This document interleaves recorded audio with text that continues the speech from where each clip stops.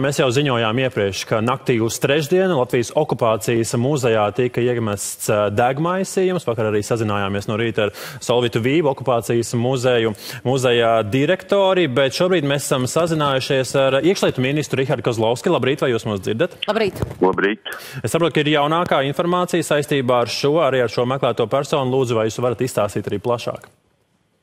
Nu jā, es gribētu izteikt vislielāko pateicību valsts drošības dienestam, valsts policijai par profesionālu rīcību un ar, gan identificējot un aizturot šo personu, kas uzbruka okupācijas muzejam.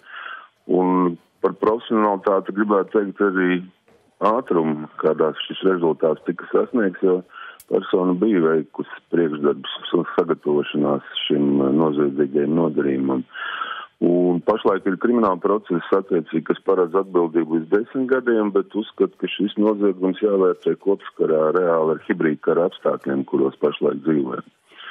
Un tas pilnīgi noteikti nodara mums uh, nacionālajai drošībai kaitējumu, tāpēc ceru, ka tas tiks vērtēts ar likuma verdzību vislielāko un šos būs atbilstoši nodarījumam. Un kā, kas tad ir tas atbilstošais, kas draudz šiem uzbrucējiem?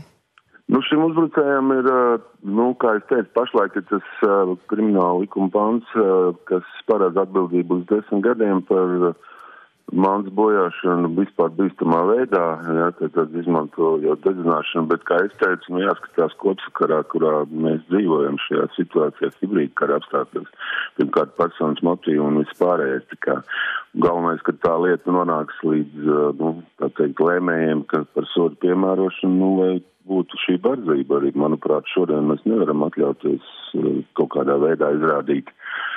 Nu, es teiktu, žēlsirdību pret tādām rīcībām. Vai varat arī paraksturot, kā notika šo, šī cilvēka meklēšana un arī aizturēšana? Ne, nu, skaidrs, ka es minēju, es, protams, nevaru izstāstīt visus detaļus, to arī droši vien sniegs pēc tam valsts policija, varbūt sīkāk, bet Uh, nu, to, ko es minēju, pilnīgi noteikti tas nebija tā, ka gāja garām un izdomāja iemest. Ka, nu, tur bija veikti noteikti sagatavošanās darbi un uh, attiecīgi arī darbi tādi, lai varbūt izvairītos no priekšdarbi, lai izvairītos no tādas ātras atrašanas, tāpēc arī gribēju īpaši uzsvērt un pateikt paldies par šo profesionalitāti. Tur ieguldīts milzīgs darbs un šajā īsajā laika apjomā tas nebija tik vienkārši nemaz izdarīt. Jā, sakām lielu paldies par aktuālās situācijas skaidrojumu. Paldies par sarunu!